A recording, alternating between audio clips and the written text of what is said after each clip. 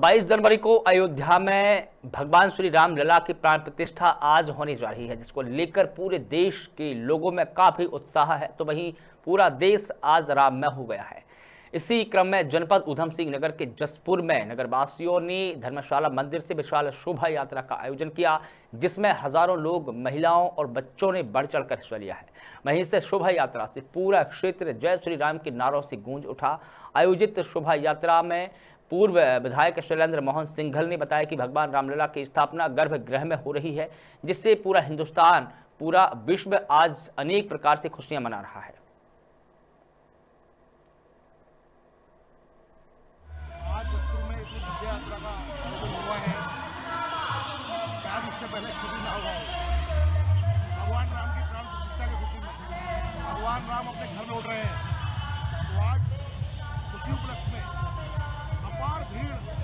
देखने को मिली।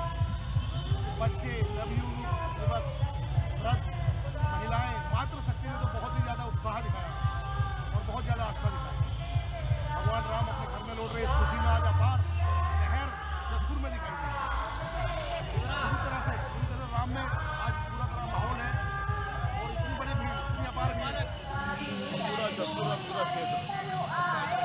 हर्षोल्लास के साथ और राम में होकर आज सड़कों पर जख्मों की सड़कों पर दिल्ली में निकला और भूतपूर्व भीड़ महिलाओं की या पुरुषों की।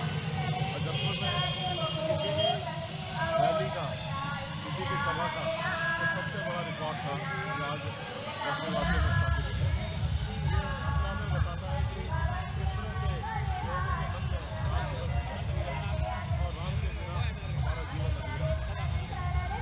से दीपावली मनाई जाएगी हर मंदिर में भंडारे होंगे।